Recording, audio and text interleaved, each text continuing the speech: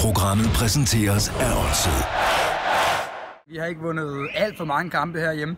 Øh, det, det tør jeg godt at sige, så, så det var mega, mega fedt at vinde på hjemmebane, og utrolig vigtigt at give fansene en, en, en fed oplevelse herhjemme. Øh, en, en sikker 2-1 sejr, og et, og et sikkert øh, arrangement avancement til, til næste runde. Du, du, du er i gang med den gode salgstale. Kan du så ikke lige sige til folk, at de også skal tage til, til Odense på lørdag, vi laver bustur? Jo, det kunne være 100 mega fedt. Det kunne være mega fedt. Øh, Det er, det er, Odense er dog ikke øh, så god en, øh, et, et salgssted, fordi at, øh, at der har vi sgu ikke leveret gode resultater, men, men det kommer på, på lørdag. Det bliver en utrolig spændende kamp, og fedt, at vi spiller ud først, og så kan vi afgøre det øh, næste mandag her, herhjemme. Øh, Men jo, lad os få folk til Odense, øh, og så få et godt resultat med derfra. Det er sindssygt vigtigt, og drømmen om Europa, den lever.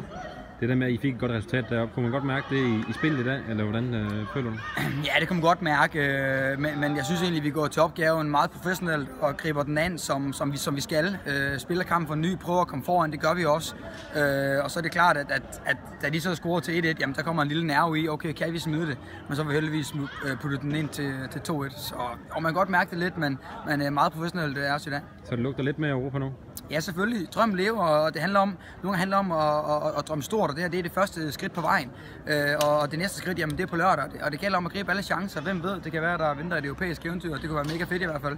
Men, øh, men det handler om, om et skridt ad gangen, og, og, og gribe den der, den der drøm, man, øh, man måske kan få.